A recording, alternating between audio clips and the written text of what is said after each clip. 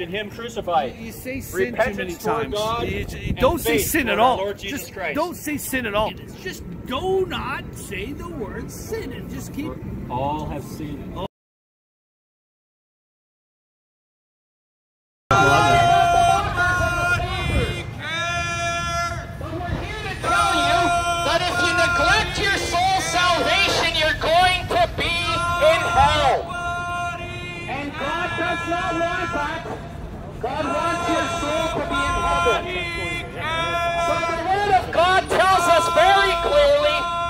That it is appointed on Today, can I tell you that God has already richly blessed you and given you a light? He has given you an opportunity to know Him. But you're falling away from Him. You're going the wrong way. You're a sinner and you have sinned against God and you're still sinning against God. You need to turn. You need to change direction. You need to stop going the way that you're going.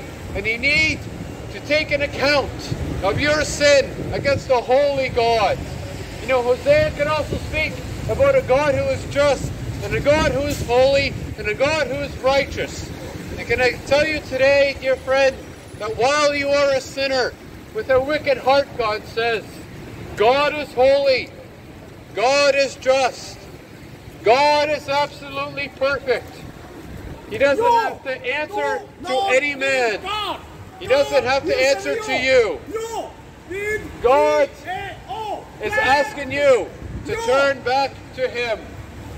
Are you going to turn back to God, dear friends? You need to turn back to God. Today, can I tell you, dear friends, that there is coming a day when God will silence all those who challenge Him. I'm going to preach, going to preach a message from the Bible, Galatians chapter 6, Galatians chapter 6 and verse 7.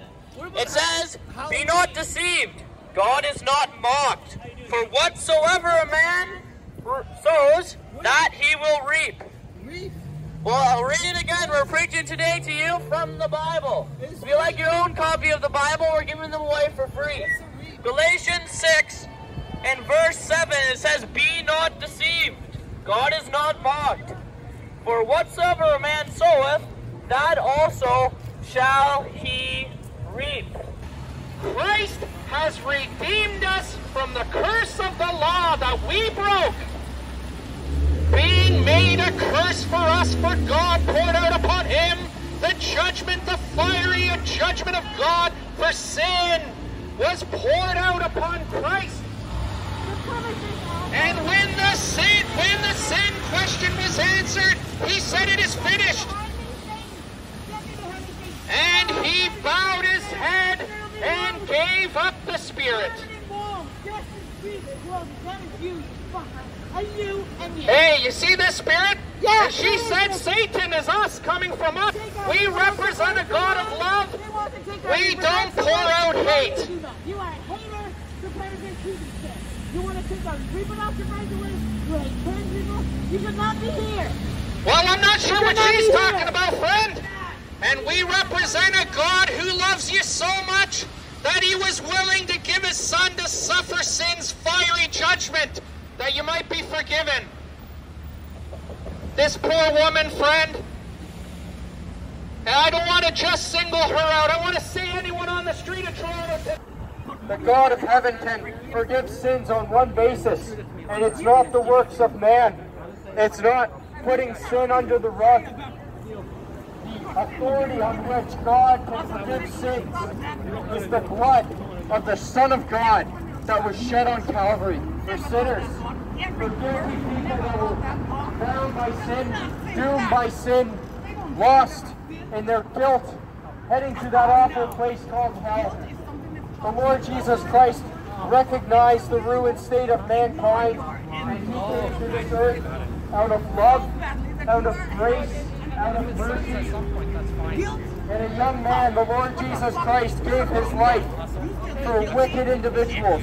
People that did not want it, people that did not want it. Saturday we're usually here. Those words of, uh, of Romans 5 and 8 again, but God commended his love toward us, in that while we were yet sinners, Christ died for us. In Him crucified. You say sin too Repentance many toward times. God You- you don't say sin at all. Lord Jesus Just Christ. don't say sin at all. It's not anymore. That's why we're all going to hell. Not why we didn't look say at Don't worry about hell. say it's the most Don't worry about the the word Bible. sin. No, well, So you're saying we God should so not worry world about about hell. that This guy is. Well, He it's says need to be saved by you don't have to use the word sin. Just preach and don't say the word sin anymore. Nation. You don't say sin anymore. Just don't use God the word sin. Just don't use the word sin. See the word sin? Just don't use the word sin. Buddy, you've said sin more times than we have now. Because that's how annoying it is. Just do not say the word sin and just keep.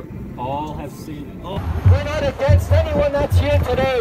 We're not here for political reasons. We're here because we're all for you. And we're here to tell you that God is all for you.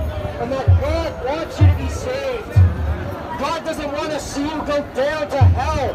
But if you reject the gift of God, that's the one place you'll go.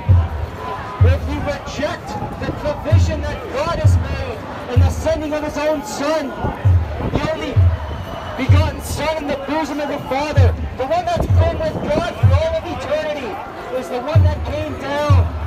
It's the one we've done. You must admit that you've done wrong. You must admit that you've sinned against God. If you've ever lied, if you've ever stolen, if you've ever taken God's name in vain, the Bible says that we've sinned. And if we've sinned, therefore we need to be saved from our sin. Believe on the Lord Jesus Christ, and thou shalt be saved. better be saved now. Now my corner. Ow!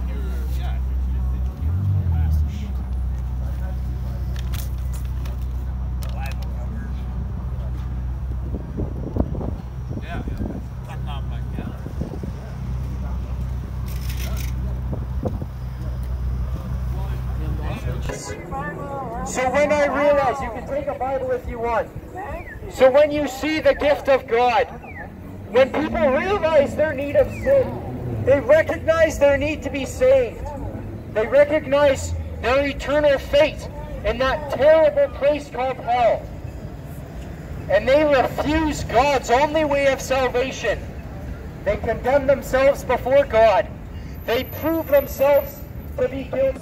And if you trust in Him, you can say like this man Paul, For I know whom I have believed, and am persuaded that He is able to keep that which I have committed unto Him against that day, the day of wrath.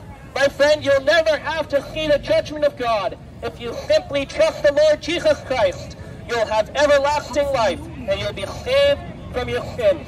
May God bless His word. Good. Thank you, friend. so, dear friend, come to the Lord Jesus. He says, Come unto me, all ye that labor and are heavy laden, and I will give you rest. Have you come to the Lord Jesus? Have you ever thanked Him for dying for your sins on the cross? Religion won't get you into heaven. Your good works won't get you into heaven. Your prayers, your baptism, your giving to charity, that won't take you to heaven. Sin has separated you and I from a holy and righteous God.